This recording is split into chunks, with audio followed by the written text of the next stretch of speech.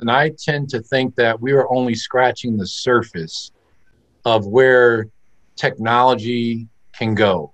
I mean, when you look at the sports and, and, and the entertainment industry, it's so competitive.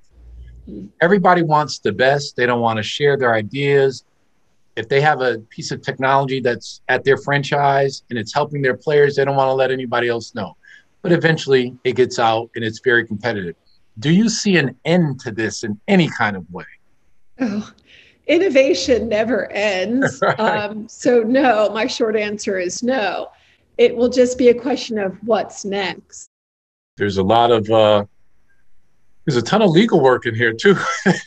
there is. And kind of a fun thing is that you can drill down into anyone. If here's Intel, oh my gosh, isn't that exciting? They have an issued patent. We can dive into the full patent. Wow. Right here and read what's happening with Intel. Why would Intel be in sports analytics?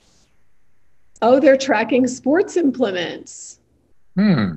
And here are the claims. We even have a unique way of reading the claims of a patent so that you can quickly get to it's a swing analyzer.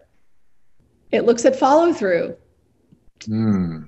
Now you know whether or not you care about what Intel's doing just from that view.